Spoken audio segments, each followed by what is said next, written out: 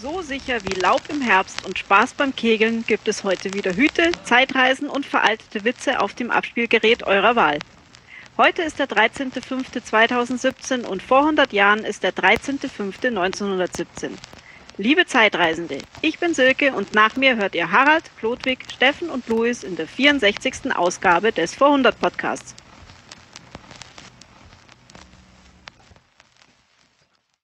Ja, hallo, hier ist der Luis. Und der Steffen. Hallo, liebe Zeitreisende. Herzlich willkommen zur 64. Folge. Danke, Silke. Ja. Ähm, wir fangen gleich an mit der Strukturierung der Folge. Ja, genau. Wir werden als Luis und Steffen heute in der ganzen Folge über die Zeit von vor 100 Jahren reden. Harald und Ludwig gibt es heute nicht. Da überlegen wir uns, wie wir weiter vorgehen, weil die beiden haben sich so ein bisschen zerstritten und wir müssen auch gucken, wie wir weiter vorgehen. Ja, wir müssen da erstmal gucken, dass die sich wieder verstehen. Die Harmonie ist äh, gestört. Ja. Und die, in, in unserem Team. Genau. Ähm, genau, aber vorher kommen noch Hausmeisterthemen von zwei Minuten. Richtig, Struktur erst Hausmeisterthemen und dann Steffen und Luis über die Zeit von vor 100 Jahren. Und diesmal, liebe Zeitreisende, habe ich tatsächlich wieder meine Eieruhr parat. Steffen liebt seine Eieruhr. Ich liebkose sie jeden Abend. Ich stelle sie auf Zwei Minuten. Exakt zwei Minuten, wie das mit so einer mechanischen Eieruhr ja immer der Fall ist. Gerade bei diesem Qualitätsprodukt. Aus dem, wo hast du die nochmal gekauft? Den habe ich bei dir beim Baumschulenweg da so gekauft, in so einem 1-Euro-Shop. Ah, genau, die Eieruhr aus einem 1-Euro-Laden. Ja. Okay. Hausmeisterthemen. Wo sind wir, Steffen? Wir sind diesmal bei mir beim Plenterwald nicht im Plenterwald, aber beim Plenterwald. Genau. Hausmeisterthemen sind auf zwei Minuten begrenzt durch die IRU, weil Podcaster reden gerne über sich selber und deswegen machen wir diese Zwei-Minuten-Aktion, um uns da selber zu begrenzen, mhm. weil wir ja über die Zeit von vor 100 Jahren reden wollen. Und die Hausmeister-Themen nehmen wir tatsächlich am 30.04. schon auf. Morgen ist der 1. Mai. Ja, langes Wochenende, yippie. Uhu. Und wir haben uns getroffen schon, ähm, waren, waren joggen Richtig. und haben dabei über die Folge geredet, wie wir das so machen werden. Mhm. Und haben also auch schon Sport gemacht. Das Ergebnis hört ihr auch gleich im Anschluss. Ja. Und dann ist uns noch aufgefallen, bei Patreon haben wir die letzten drei Folgen vergessen reinzustellen. Äh, das läuft ja mal so bei Patreon, dass man entweder pro Monat oder pro Folge, das kann man sich aussuchen. Wir haben pro Folge. Genau. So einen Beitrag bekommt dann von den Patreons, Patreonen. Mhm. Wir haben zwei Patreon. Genau. Vielen Dank dafür. Ich weiß gar nicht, wie man die nennt. Und äh, ja, wir haben vergessen, die letzten drei Folgen reinzustellen, weshalb wir sozusagen nie Geld bekommen haben. Wir haben es jetzt einfach so gemacht, ist jetzt auf unser Mist gelaufen. Wir haben die jetzt einfach nachträglich reingestellt, aber nur einmal abgerechnet. Sozusagen. Und die anderen beiden haben wir zwar auch gut reingestellt bei Patreon, aber halt nicht diesen Haken gesetzt, dass das als richtige Folge gilt zum Bezahlen. Genau. Das heißt, äh, eigene Blödheit. Mal schauen. Gut, das waren die Hausmeisterthemen. Ja, und äh, ich würde auch sagen, wir beginnen mit den Themen, die 100 Jahre alt sind. Doch nochmal ein kleiner Cut, denn wir haben noch etwas vergessen. Luis, wir haben Feedback. Ja, wir haben uns sehr gefreut und das spielen wir jetzt gleich in Folge ein. Ja, ähm, da haben wir es. Ja, guten Tag, hier ist der Martin aus Karlsruhe. Ich habe gerade eure Ausgabe 63 gehört und habt es vom Kronprinzenpokal. Also äh, der lief bis 2011 auf jeden Fall unter dem Namen Länderpokal. Wenn er bei Wikipedia einfach mal Länderpokal eingibt, dann seht ihr die Siegerlisten bis 2011. Das war dann zum Beispiel bei den Frauen Rheinland. Bei den Herren waren es 2010 Mittelrhein an den Namen erkennt man schon, dass es nicht nach Bundesländern ging, sondern nach den Landesverbänden des Fußballverbands. Beispiel Baden-Württemberg, da gab es natürlich, da gibt, gab es falsch, da gibt es immer noch sozusagen den äh, Badischen Fußballbund oder wie der genau heißt. Also es gibt einen Badischen Verband und einen Württembergischen Verband. Dementsprechend gab es natürlich eine badische Mannschaft und eine württembergische Mannschaft. Und in dem Artikel wird sich dann auch bezogen auf diesen Kronprinzenpokal, also Länderpokal wäre der richtige Suchbegriff. Ansonsten vielen Dank für eure Sendung, gefällt mir sehr gut, auch wenn ich nicht unbedingt alle Meinungen teile. Macht weiter so und vielen Dank. Tschüss. Ja, vielen Dank für dieses Feedback. Ähm, wir haben ja gesagt, und man kann uns gerne Feedback senden an den Anrufbeantworter mit der Nummer, die wir am Ende der Folge mal haben. Ähm, genau. Wenn ihr euren Namen nicht ansagt, dann gehen wir davon aus, dass wir euch einspielen dürfen. Ja, dazu nochmal also eine Richtigstellung zum Kronprinzenpokal. Vielen Dank an dieser Stelle. Vielen Dank und danke fürs Hören. Ja, dann kommt tatsächlich die, kommen tatsächlich die Themen von heute vor 100 Jahren.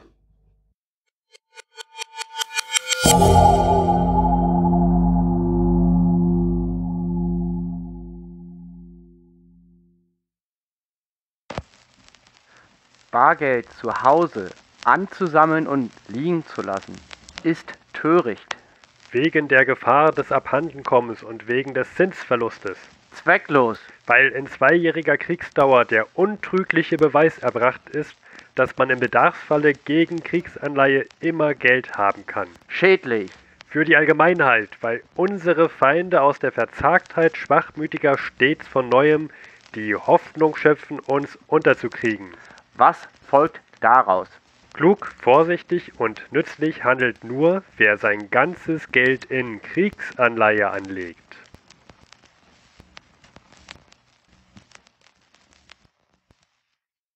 Das, das waren, das haben wir uns nicht ausgedacht, sondern das war gerade eine Zeitungswerbung für die Zeichnung der neuen deutschen Kriegsanleihe, und zwar der sechsten deutschen Kriegsanleihe, die am 15. März begonnen hatte. Wie viele Kriegsanleihen gab es denn da, Luis? Na, wie gesagt, das war die sechste. Ja, aber also so ungefähr noch, haben wir da nur noch mit einer zu rechnen? War das so die letzte oder kommen da noch ein paar? Da kommen noch ein paar, genau. Okay. Mhm. Und was würdest du denn schätzen, wie viel, also eine Kriegsanleihe, das ist sozusagen ein Wertpapier, was man bekommt, wenn man der Regierung Geld gibt. Und die Regierung verspricht dafür Zinsen. Wie viel Zinsen?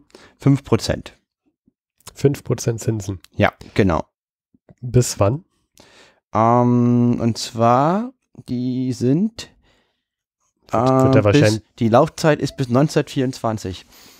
Herzlichen Glückwunsch. Also wir wissen, dass äh, eine Kriegsanleihe 1917 gezeichnet ist, bis 1924 eine hervorragende Rendite gebracht, gebracht hat. Wahrscheinlich ja. Mhm. Weil, Nicht. genau, warum, Steffen? Wir werden noch über Inflation reden. Ja, es gab ja die große Inflation und Geldentwertung und da sind natürlich diese Anleihen alle nichts mehr wert gewesen. Ja. Also man hat das Geld schon wiederbekommen, was man dort eingezahlt hat, nur es war halt wesentlich weniger wert. Passend dazu, ich lese gerade von Erich Maria Remarque, der schwarze Obelisk spielt auch in der Hm? Zeit der, der Inflation. Aber vielleicht können wir nochmal sagen, dass es zumindest historisch sich nicht äh, ausgezahlt halt hat, Kriegsanleihen ähm, zu zeichnen. Wobei ja die Gründe anscheinend für den einen oder anderen schon, schon recht wichtig waren, da zu, darin zu investieren. Sicherlich nicht nur aus eigenem Vorteil, um daraus Geld zu kriegen. Ja, also es gab einen unfassbar großen Propagandafeldzug, die jede Kriegsanleihe begleitet hat. Und dort wurde halt gesagt, man muss die Soldaten an der Front unterstützen, man darf, man muss sein Volk unterstützen, man darf nicht zurückgehen, man muss sein Geld übergeben, weil, wie wir ja quasi gesehen haben, wenn man das zu Hause behält, kann es hier abhanden kommen, das eigene Geld. Und ähm, Das will man ja nicht. das will man ja nicht. Und man, man schadet sein eigenes Volk. Also besser das Geld der Regierung übergeben, weil die weiß ja viel besser, was, was damit zu tun ist. Ha- Hat sich ja dann auch ähm, jetzt aus 100, vor 100 Serie, vor 100-jähriger Sicht auch als äh, nicht wahr. Also, genau, also wenn die Regierung euer Geld möchte und ihr habt die Wahl Nein zu sagen, finde ich, sollte man erstmal Nein sagen. Genau. Also Erst, Erstmal skeptisch sein. Also du hättest keine Kriegsanleihe gezeichnet. Nee. Würdest du denn denken, wenn jetzt Merkel sagt, wir müssen in Afghanistan Demokratie bringen und dafür muss die Bundeswehr nach Afghanistan und jetzt äh, zeichnet eine Afghanistan-Anleihe. Kriegsanleihe. Würdest Jetzt, du, jetzt sofort. würdest du da sagen, und ihr kriegt 5% dafür, Rendite? Oder sagen wir mal sogar 7, was ja wesentlich mehr wäre als ähm, jetzt aktuell Festgeldkonto. Ich würde Twitter öffnen und einen Shitstorm auslösen. also du würdest es nicht geben. Nein. Hältst du das grundsätzlich heutzutage für möglich, dass eine Kriegsanleihe, nochmal dieses, dieses Konzept, ich führe einen Krieg und, und rufe die Bevölkerung zum Spenden auf für diesen Krieg, dass das Erfolg haben könnte? Jetzt, also in der jetzigen Situation würde ich sagen, so in dem Maße nicht mehr. Hm? Also wenn, wenn jetzt Merkel aufrufen würde, ich glaube, ganz viele würden ähnlich denken wie ich, Hm? würden sagen, "Mm, nö. Macht was anderes, aber nicht das. Äh, ich bin der Meinung, dass das genauso funktionieren würde wie vor 100 Jahren. Der Mensch hat sich nicht verändert. Wir haben nur, wie du gerade gesagt hast, du hast völlig recht, ähm, die Situation ist nicht die gleiche. Also wenn man jetzt morgen eine Kriegsanleihe einführt, dann haben wir ja nicht das, was 1917 war, weil wir müssten erstmal Mhm. mehrere Millionen Deutsche ins Militär stecken und an irgendeinen furchtbaren Schützen graben. Und ähm, dann sieht die Situation ja ganz anders aus, weil wenn du jetzt drei Söhne hättest, die wir natürlich nicht haben, und die sind alle an der Front und kämpfen und sterben, dann möchte man ja irgendwie auch alles dafür tun, dass die lebend wiederkommen. Und dann ist so eine Kriegsanleihe doch ganz attraktiv auf einmal. Aber Luis, wie du ja so richtig gesagt hast, wir haben diese drei Söhne nicht Nein, ähm, zusammen. Und das habe ich ja äh, nicht gesagt. Es könnte doch jeder für schon wieder sich. ganz, ganz seltsam. Die, ich, ich, ich sehe schon wieder Hörerpost eintrudeln. Ich meinte, ich meinte jeder für sich. So, Ja. Aber ich denke auch, dass, dass ähm, bis, bis es zu so einer Situation wieder kommen kann, da geht, da muss auch noch einiges passieren. Das würde nicht in den nächsten zwei, drei Jahren möglich sein. also man müsste einen irrationalen Fantasten als Präsident wählen, zum Beispiel. Ja, vielleicht ein Populisten. Ja, der, der, Mhm. der nichts von Fakten hält und nur das glaubt, was man im Frühstücksfernsehen sieht. Ja, ungefähr das. Ungefähr Mhm. das. Ja, jedenfalls, Wie in anderen Ländern vielleicht. also ich wollte auf den Punkt, wir schweifen ab, auf den Punkt ähm, Sozialdruck hinaus. Und äh, wie hier klingelt irgendwas, Steffen? Was klingelt Ja, denn? ich habe natürlich mein Festnetz nicht abgestellt, Luis. Ja, genau.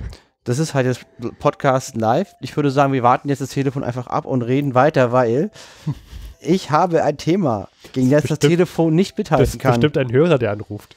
Wir haben ein neues Chemiewerk in Leuna. Warum ist das wichtig? Das ist wichtig, weil wir schon mal über, über diesen Herrn uns unterhalten haben, den es auch mit betrifft, Mhm. nämlich den, den Haber, den Den Haber. ähm, Fritz Haber, ne? Genau, der hat, der hat was. Der hat Fritz, Fritz Haber. Genau, und der war maßgeblich daran beteiligt, dass äh, Giftgas eingesetzt wurde auf deutscher Seite. Richtig. Das haben wir in unserer Folge Die gelbe Wolke, auf die wir gerne verweisen. Folge 20. Richtig. Und in dem Rahmen hat, hatte sich auch seine Frau umgebracht. Sehr, sehr interessante Geschichte. Bevor er aber das Giftgas zu den Soldaten gebracht hat, um es mal so zu formulieren, hat er das Haber-Bosch-Verfahren entwickelt, was wir auch schon mal beschrieben haben, falsch in unserem Podcast. Ich habe schon mal richtig gestellt. Ich habe, glaube ich, hatte mich dann wieder total ver verhandelt. Aber ja, es ging größtenteils darum, Ammoniak herstellen zu können. Genau, weil Ammoniak, das, wir machen das ganz einfach und danach reden wir nicht mehr drüber. Also Ammoniak braucht man für zwei Sachen, zum Düngen von Feldern und für Sprengstoff. Ja. So, das hat man vorher aus irgend, immer aus Vogelscheiße gewonnen, die in irgendwelchen tropischen Inseln liefern. Das ist Ich glaube auch aus Chile, ne? ja irgendwo da. Jedenfalls, man musste mit dem Schiff ganz lange fahren und diese Vogelscheiße irgendwie einsammeln.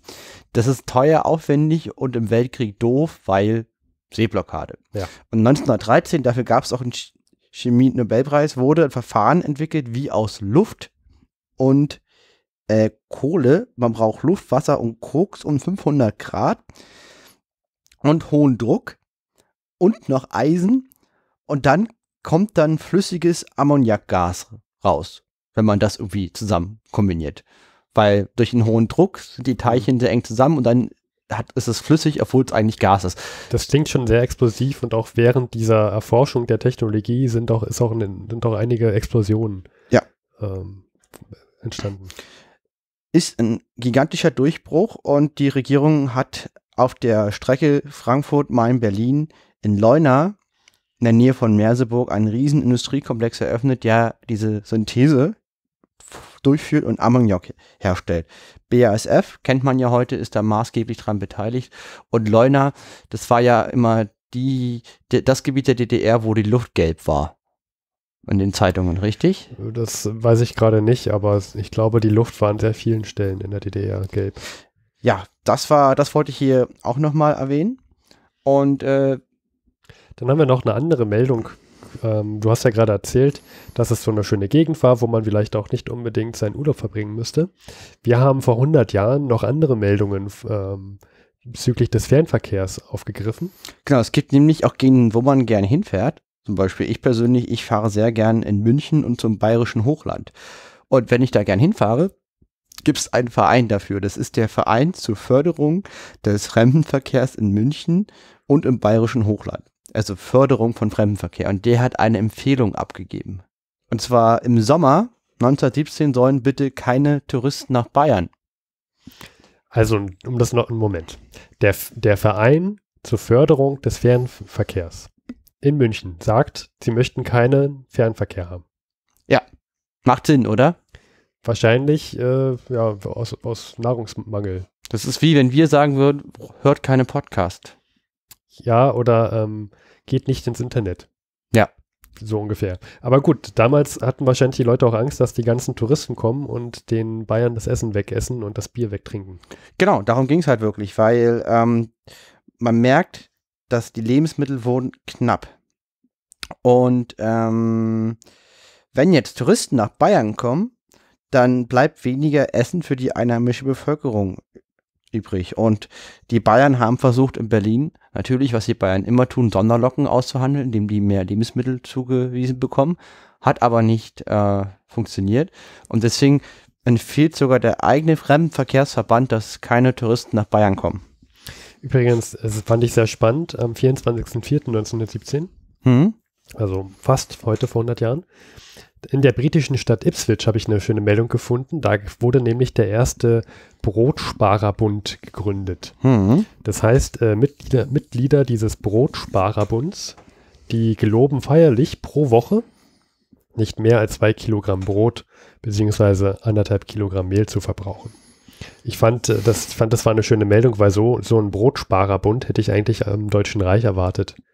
Aber schön, schön dass es in Ipswich, Ipswich schwieriger Name, Ja. auch so einen Brotsparerbund gibt. Hört sich aber irgendwie auch sehr britisch an. Die Briten mögen auch solche Vereine. Ja. Briten sind, ist auch das Land mit den größten Vereinen für Natur. Also zum Beispiel, es gibt Vereine, die, die sich damit beschäftigen, Vögel in der Natur zu beobachten. Mhm. Und die haben in England Millionen Mitglieder. Also da sind die Engländer immer ziemlich weit vorne dabei mit solchen Vereinen. Das ist nicht nur Deutsch. Ich glaube, die USA hat auch so einen Vogel, Vogelverbund Ja. und Ja, Mitglieder. Mit, Dings. mit sehr vielen Mitgliedern, genau. Ja. Ähm, Wir haben ja auch Meldungen aus dem Chronikbuch.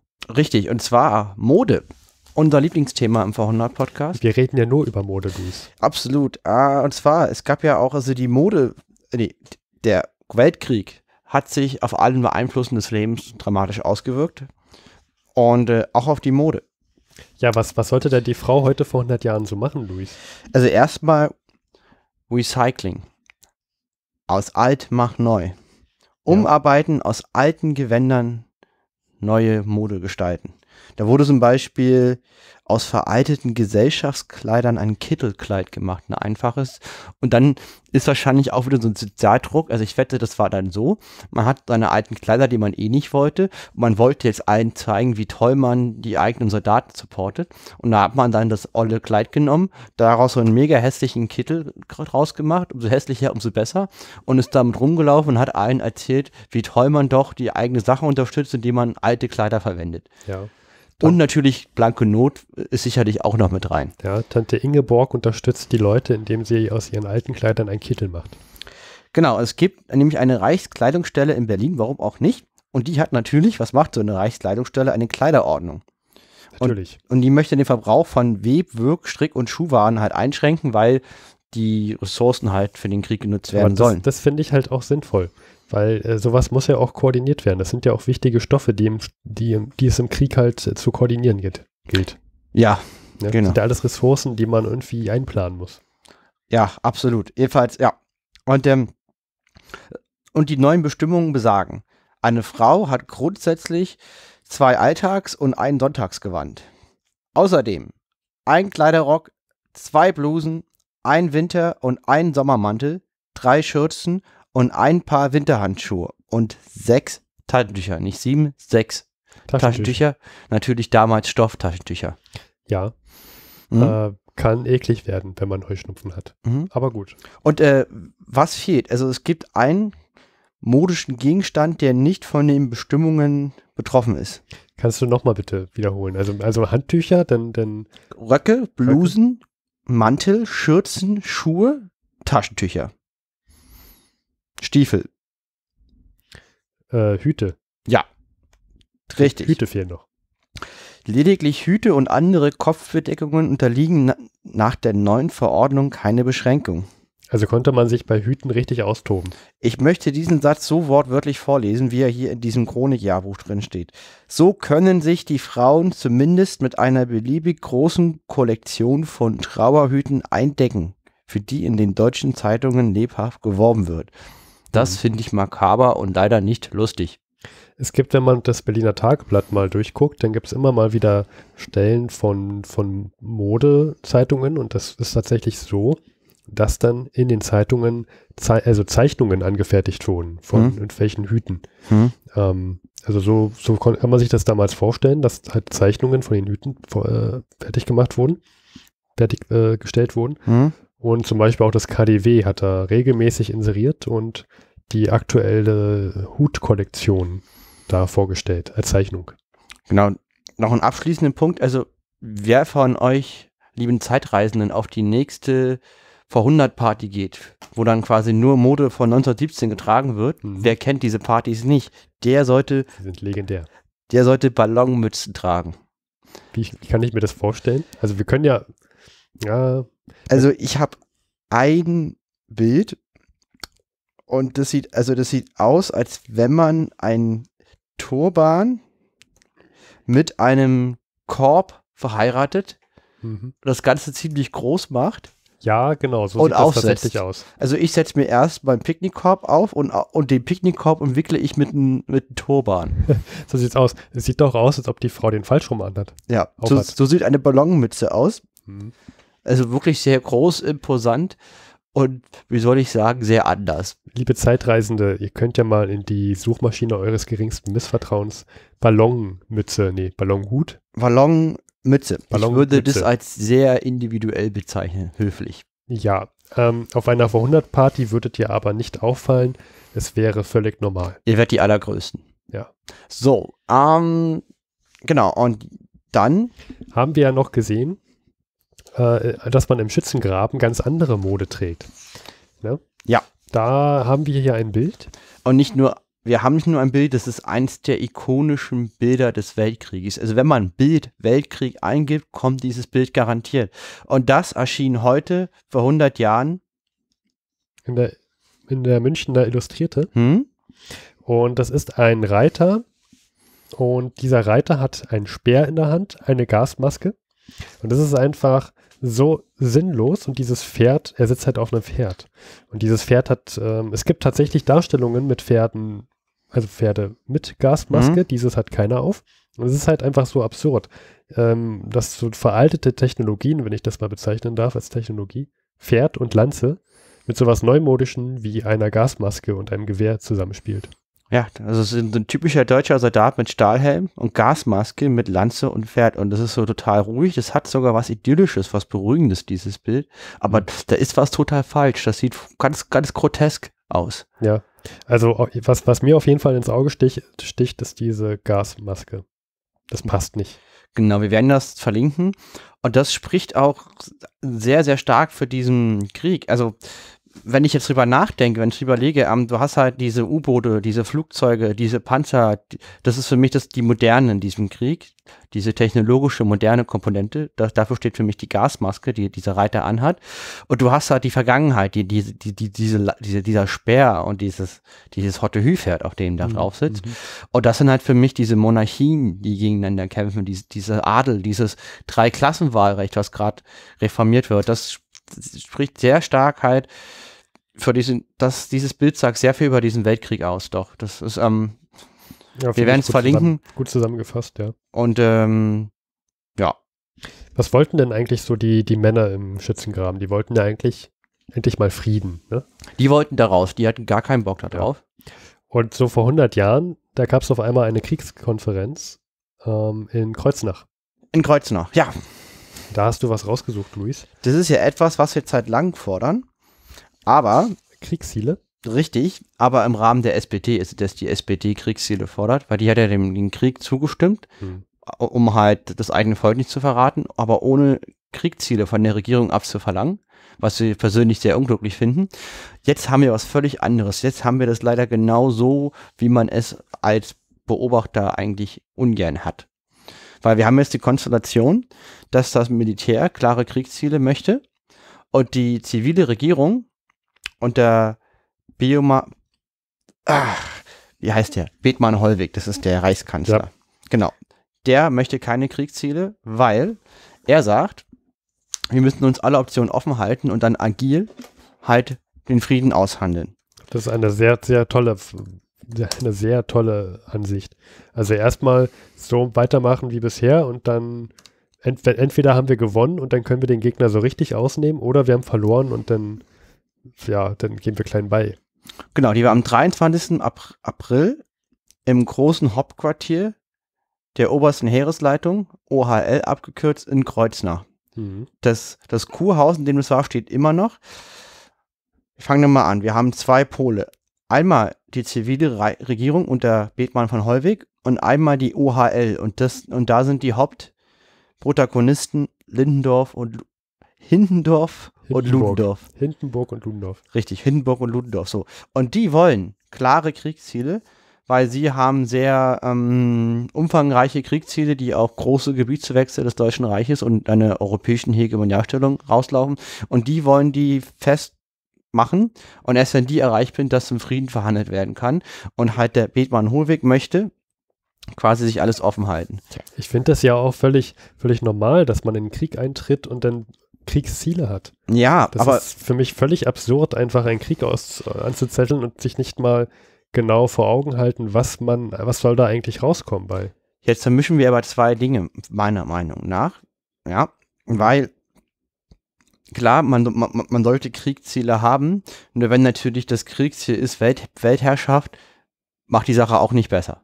Dann ist es vielleicht besser, die Klappe zu Ja, das halten. müssen halt gut definierte Kriegsziele sein. Ja, also zum Beispiel irgendwas, ja, gerne, ja, es ist schwierig. Ich fand es halt schwierig, dass, dass quasi eine Partei wie die SPD, die eigentlich Frieden möchte, für den Krieg stimmt, ohne zu hinterfragen, was soll eigentlich erreicht werden. So meine ja, ich das. Gut. Und die SPD ist ja jetzt leider gar nicht dabei. Wir haben eine zivile Regierung, wo, wo der Bethmann Hohlweg sitzt, der schon sehr grenzwertig ist. Wir haben das OHL mit, äh, mit Hindenburg und Ludendorff.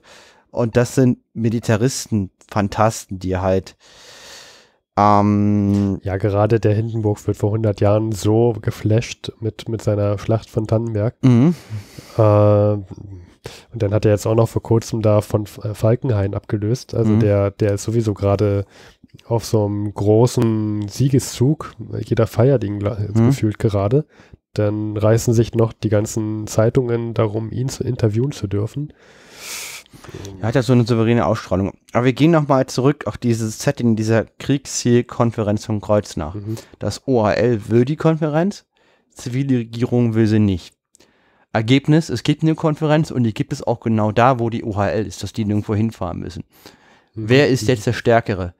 Na, die OHL ist in meinen Augen der Stärkere. Genau, die oberste Heeresleitung. Ja, Also ja. die hat jetzt gerade das Sagen. Also die zivile Regierung hat offensichtlich gar nichts mehr zu melden, das kann man sehen, weil quasi der Stärkere bestimmt halt auch, wo die Konferenz ist und dass sie stattfindet. Wenn der andere nicht in der Lage ist, sie zu verhindern und vor allen Dingen auch nicht mal in irgendeine Form von Bedingungen stellen kann, dann ist er eigentlich entmachtet. So. Und der Bethmann Hohlweg, dem ist das auch total bewusst, dass er quasi als Reichskanzler hier nichts mehr zu sagen hat, gerade Ja. in dem Land. Er, er, er macht trotzdem mit, weil er, weil er sich wegen so einer Lappalie auch nicht aus dem Amt jagen möchte. Der kann das fast, also der findet das richtig absurd regelt, re- regelrecht. Aber bevor wir, glaube ich, dahin springen, sollten wir erstmal mal festlegen, was wurden jetzt da, da wurden Kriegsziele festgelegt. Und Die Frage wäre jetzt welche, ne? Ich würde jetzt mal vermuten, es hat auf jeden Fall was mit Belgien zu tun. Ja. Weil da ist ja immer noch nicht genau geklärt, was jetzt mit Belgien eigentlich ist. Das Mhm. ist äh, vor 100 Jahren immer noch besetzt von dem Deutschen Reich, also gro große, weite Teile. Mhm. Ähm, dann, was ist mit Polen? Da gibt es einige Ziele, glaube ich. Und zwar, dass Polen ähm, sich selber verwalten soll. Und das, ich glaube, man möchte auch mit Polen gar nicht so viel zu tun haben. Ne? Also Polen möchte man sich selbst überlassen, so ein bisschen, habe ich den Eindruck. Also du hast es schon sehr gut angefangen Mhm. und auch, also du hast es sehr gut gesagt. Belgien und Polen sind die wichtigsten Forderungen der Deutschen für Mhm. einen Frieden. Mhm. Also die, also diese beiden gut- sind die Hauptstreitpunkte. Habe ich gut geraten. Genau, hast du wirklich, hast du super geraten, richtig. Genau. Und äh, Und was, was so mit Frankreich ist und so, das wurde da nicht besprochen. Also wann, wann dieser Krieg offiziell zu Ende sein soll? ja, Wenn, einer, zwar, wenn die anderen aufgeben oder wie? nee, und zwar, ähm, also Kurland und Litauen sollen annektiert werden. Ähm, das ist quasi Litauen. So, weil Mhm. Äh, damals, also in Riga, haben von vor 100 Jahren waren 13 Prozent der Bevölkerung Deutschen. Und die wollten, die haben das als deutsches Gebiet gesehen, was aber nicht stimmt, weil nur eine kleine Minderheit Deutsche war. Ähm, genau. Polen sollte, es sollte ein größerer polnischer Grenzstreifen zu Deutschland gehören. Und halt äh, das, was übrig blieb von Polen, sollte unter deutscher Vorherrschaft stehen. Dass man auch nur nach Osten hin erweitern kann. Ja. Das wäre die Lösung für Polen. Mhm. Dann Belgien. Und zwar Belgien sollte zu einem Puppet, also zu einem Puppet, also zu einem Puppenstaat geschmiedet werden. Also, dass die sich zwar selber verwalten können, aber eher so ein, unter der Herrschaft von Deutschen Reich, oder wie? Vasallenstaat. Ja. Und äh, Lüttich, die Küste mit Brügge, wäre deutsch, weil da möchte die Marine Stützpunkte gegenüber von England aufbauen. ja, verständlich. Dann wäre Luxemburg und dann das Frankreich, was auf der Westgrenze von Luxemburg, so ein kleines Zipfelchen, ähm, wäre auch in Deutschland. Ich meine, das ist ja auch größtenteils schon eingenommen worden. Ja. Und Grenzverbesserung in Elsass und Lothringen. Was halt hier auffällt, ist, dass Frankreich verhältnismäßig in Ruhe gelassen wird. Die müssen zwar ein bisschen was abtreten, aber das ist ungefähr ein Prozent ihrer Gesamtfläche. Halt Belgien wäre Be Be Belgien wäre quasi ein Vasall Deutschlands und auch Polen. Das sind die Kernaussage des Kreuznacher Programms, was Deutschland betrifft. Das finde ich schon, ich finde, das ist, also, Moment, ich finde, das ist eine harte Aussage, weil, wenn man sich an, wenn man sich 1914 zurückruft in Erinnerung, dann hatte Belgien da nie so richtig was zu tun mit dem Hm. Grund, in, jetzt in den Krieg einzutreten. Man hat einfach, ähm, man wollte ja gegen Hm. Frankreich vorgehen und hat halt in Kauf genommen, ähm, die Soldatentruppen über Belgien schicken zu müssen, einfach weil es eine Abkürzung ist. Ja. Das heißt, Belgien war einfach nur zu, zur falschen Zeit am falschen Ort, Richtig. um mal diese Metapher zu gebrauchen. Und jetzt ist aber Belgien auf einmal, ja, das ist jetzt ein Kriegsziel von uns, dass das jetzt ein Vasallen, Vasallenstaat wird. Ja, ja, genau. Das ist, ich denke mal, das, das hat mit den Zwängen zu tun. Also es wurde auch politisch beschlossen, dass man Frankreich nicht zu sehr beschneidet, weil man hat ja schon Elsass-Lothringen und es macht auch keinen Sinn, die Gebiete von Frankreich quasi zu annektieren mit dieser verhassten, verbitterten Bevölkerung aus Mhm. deutscher Sicht.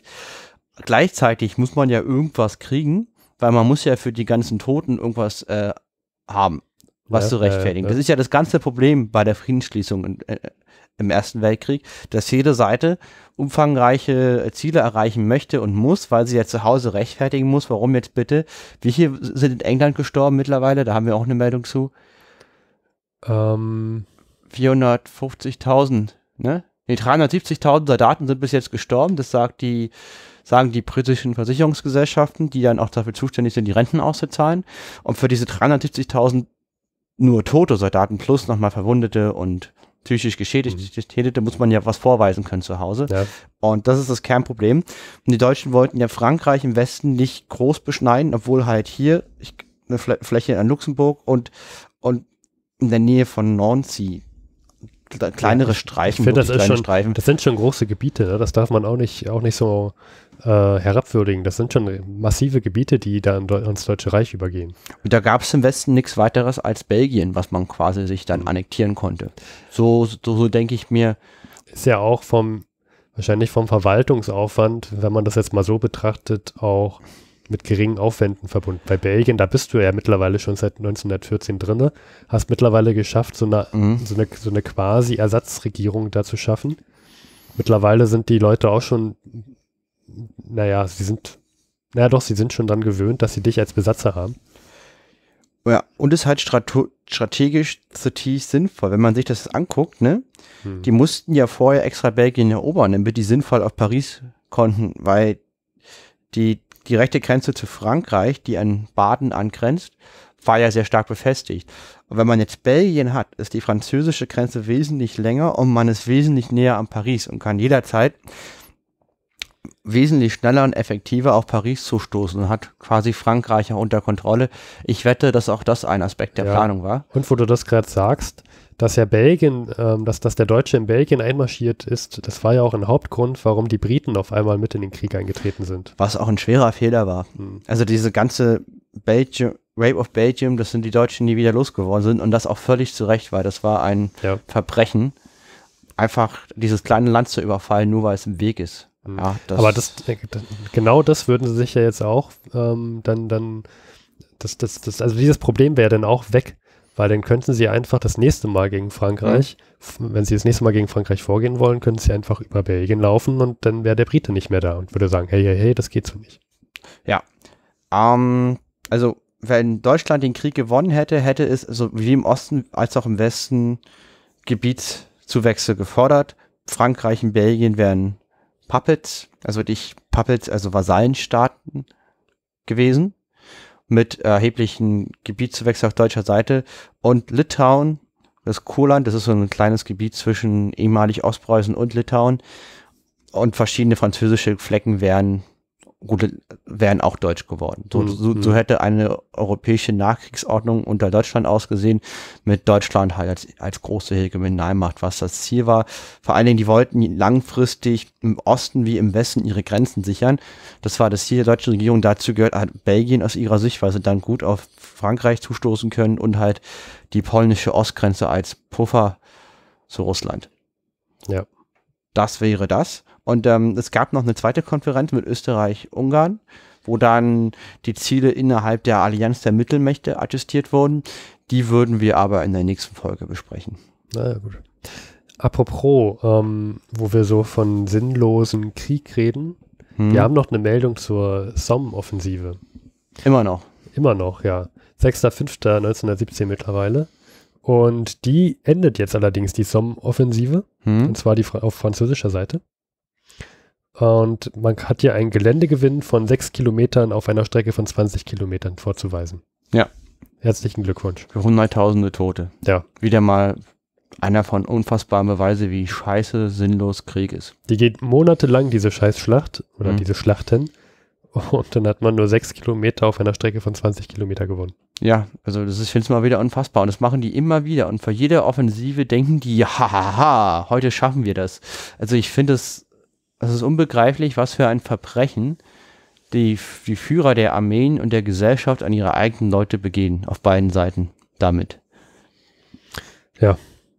Gut, kommen wir nochmal zu was anderem. Du hattest ja vorhin schon Bettmann Hollweg erwähnt. Mhm. Der ist ja Reichskanzler vor 100 Jahren. Und der hat übrigens ähm, etwas erlassen vor 100 Jahren, und zwar vor dem 1. Mai. Denn der 1. Mai vor 100 Jahren war auch schon Tag der Arbeit. Da sind auch schon damals die Leute auf die Straße gegangen und haben demonstriert. Mhm. Aber der Bettmann Hollweg hat jetzt vor dem 1. Mai gesagt, ähm, nee, jeder, der streikt, das, das darf nicht sein, weil ähm, man würde ja dann die feindlichen Mächte unterstützen. Vor allem, wenn man streiken würde in kriegswichtigen Betrieben. Bethmann Hohlweg war der mit dem Plankoscheck für Österreich-Ungarn. Also der gesagt hat, na ja, greift da an, wir sind immer dabei. Der auch dann zum Auslos des ganzen Schlamassels mit beigetragen hat. Nochmal als Ergänzung. So, und ich finde, der, das ist, das ist ein, ähm, der, der Hintergrund hiervon, Mhm. da sehe ich ganz stark drin die, also die, die ähm, Februarrevolution in, in, in Russland.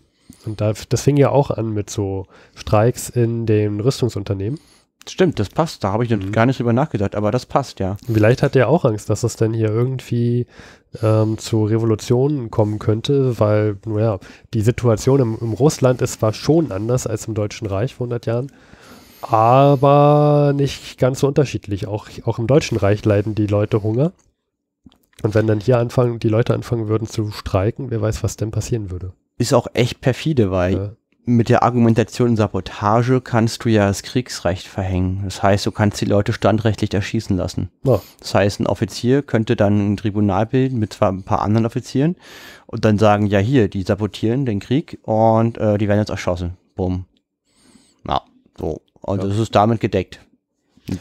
Genau. Und damit, ja, kam es halt zum 1. Mai 1917, wo trotz des Tags der Arbeit in den meisten deutschen Betrieben niemand gestreikt hat. Gut. Dann noch eine letzte Meldung, die fand ich einfach spannend. Luis fand, meinte, na, die ist doch nicht spannend. Ich fand sie schon spannend. Und zwar vor 100 Jahren wurde der 8-Stunden-Tag eingeführt für Eisenbahnmitarbeiter in den USA. Fand ich, fand ich interessant. Ja. Gut. Dann ähm, sind wir eigentlich schon fast am Ende angekommen. Äh, wir haben noch einen kleinen Teaser für die nächste Folge. Und zwar werde ich wieder jemanden vorstellen aus diesem Buch ähm, von Max Arthur, Last Post.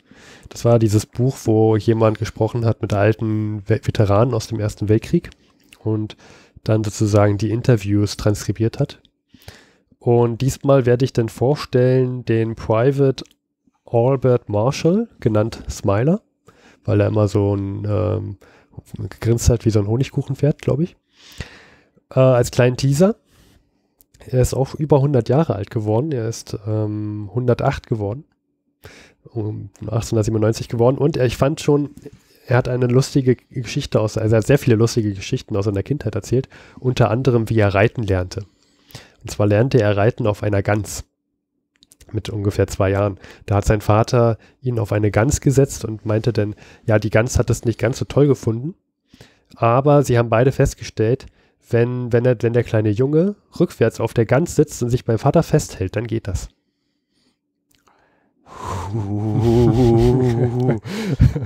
also, ich stelle mir jetzt gerade vor, man würde das heute machen.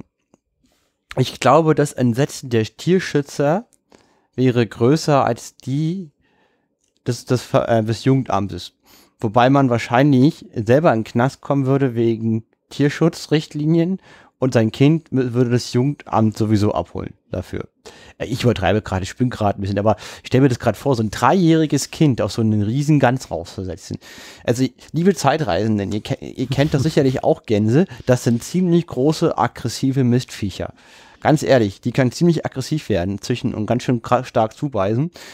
Ähm, ich fühle mich jetzt nicht bedroht von der Gans, aber die, die sind jetzt nicht ungefährlich. Und, und so ein kleines Kind, ja, das weiß ich nicht, würde ich jetzt nicht einfach so eine Gans raufsetzen. Also ich, ich würde behaupten, beide wären sehr unglücklich mit dieser Sache, ja. ohne es jemals ausprobiert zu haben. Und wie er das so beschreibt, dass er Reiten auf einer Gans, das auf ein Esel gelernt hat, spricht halt auch Bände, wie die damals so gelebt haben, wie das so getickt hat. Du hattest auch noch eine andere Anekdote, die fand ich auch ziemlich witzig. Naja, klar, die ganzen Jungen hatten damals Fahrräder und haben sich so Orangenboxen an die Fahrräder mhm. gehauen. Und sein älterer Bruder hat ihn übrigens immer in die Orangenbox reingesetzt und hat ihn dann mit, mit zur Schule genommen. Und als die Schule vorbei ist, dann haben sich alle Jungs dann auf die Fahrräder gesetzt, sind nach Hause gefahren und haben auf dem Weg nach Hause die Pferdeäppel von der Straße eingesammelt und die in die Orangenbox reingepackt. Um, einfach um zu Hause Dünger zu haben. Also schön die Scheiße auch gesammelt. Ja, naja, war halt damals, war halt damals so, ne? Ja. Ähm, wenn man halt, wenn halt der Dünger auf der Straße rumliegt, dann nimmt man den halt mit. Also quasi nach dem, nach, nach dem Reiten der Gänse hat man irgendwie Scheiße aufgesammelt. Genau. Man ja, also man merkt sehr naturverbundenes ja. Leben. Die haben halt anders getickt, ein anderes Leben gehabt als wir. Es ist sicherlich auch nicht verkehrt, sehr verbunden zu sein mit seiner Umgebung und ist auch eine Form, ja, also, ich meine, gut, wenn man so eine Schaufel hat, warum nicht Scha Scheiße einsammeln? Ich meine, Dünger braucht man ja. Ich würde ja meinen, dass, dass meine Großeltern, vielleicht auch Eltern das auch gemacht haben, irgendwie Pferdeäpfel zum Düngern genommen. Ja, warum auch nicht? Macht ja auch Sinn. Ich habe ja, ich war schon mal in, äh, in, der, äh, in, in, der Grenze zu Tibet, im tibetischen Kulturraum, aber nicht in Tibet selber, darf man nicht rein. In, in so, einer, so einer Gegend, wo Nomaden gelebt haben, in so, so Hütten, hm. so ein bisschen wie die Mongolen. So, die, die haben dann ihre Jackherde gehabt, sind dann 4000 Meter Höhe in so ein Hochland da von A nach B gezogen. Und die haben halt auch abends mit Scheiße gekocht. Die haben die Scheiße ihrer Jacks genommen und damit Feuerchen gemacht. Und ich habe da auch übernachtet, da an dem ich übernachtet.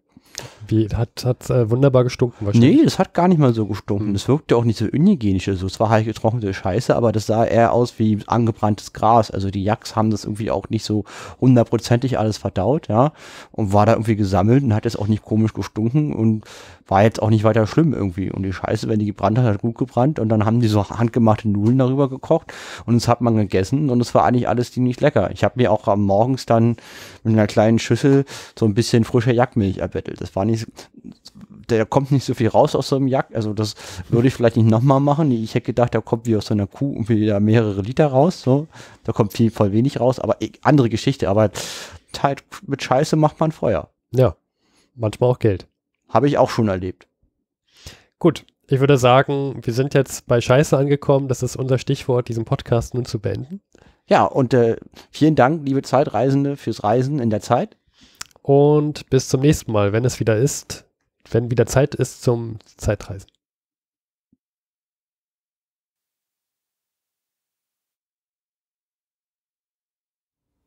Und zum Schluss sind wir nochmal Luis und Steffen. Danke fürs Zuhören. Wenn euch die Folge gefallen hat oder auch nicht gefallen hat, könnt ihr uns einen großen Gefallen tun. Ruft uns doch bitte an unter der 030 814 55339. Das ist unser Anrufbeantworter. Da gehen wir nicht persönlich ran. Ihr könnt uns dort eine Nachricht hinterlassen. Bitte sagt an, wenn ihr nicht direkt in der Folge von uns eingespielt werden möchtet. Ansonsten könnt ihr auch info etwa 100.de eine Mail schreiben, aber 030 814 55339 bitte anrufen. Weiter könnt ihr uns unterstützen, wenn ihr wollt, unter Patreon, PayPal, Flatter Amazon Wunschliste. und auf Honig. Oder bewertet uns auf iTunes. Vielen Dank fürs Zuhören.